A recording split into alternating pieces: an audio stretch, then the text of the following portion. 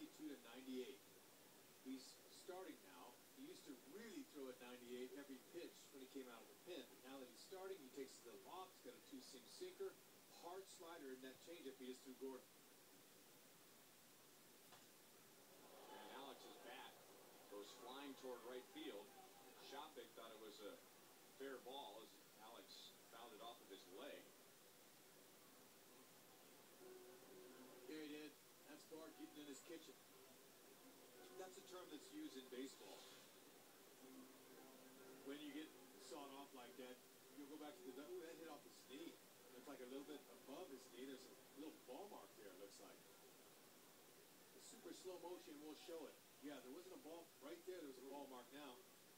Yeah, hit him in the quad, but you know what? I, I, I describe those quads as massive and strong